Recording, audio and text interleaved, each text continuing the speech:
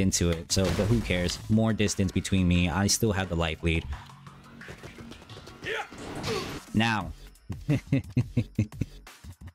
yeah, you don't you don't again, like I said, you don't underestimate that mate that underestimate that range because yeah, goodbye. Because if you have an Armor King player that has someone that, that, that actually has kind of really, really, really got the technique of doing instant Shining Wizards, that happens. That happens.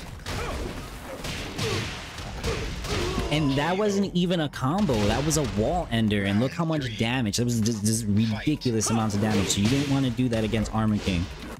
So at this point, again, I back up, he's immediately doing something. I go for a back one too, but I don't get as much damage as I want because he's in the air. But still, damage is damage, right?